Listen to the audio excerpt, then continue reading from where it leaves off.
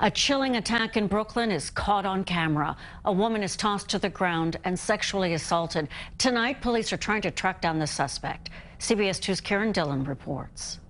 Take a look at this surveillance video. In it, you can see a man following a 35-year-old woman down the street in Brooklyn. He eventually tackles her from behind and knocks her to the ground. It's sad that you can't walk anywhere and be comfortable enough to walk and not worry that someone's going to attack you.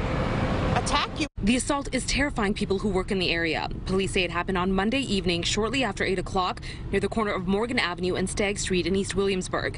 It's believed the man reached inside the woman's shorts and grabbed her buttocks before running off. The suspect's face is visible for cameras to capture. He didn't care at all. just goes to show you how brazen people can be. They just, they don't care. Police say the victim was not physically hurt and refused medical attention. Oh, definitely more now, especially when I leave to go home, yeah.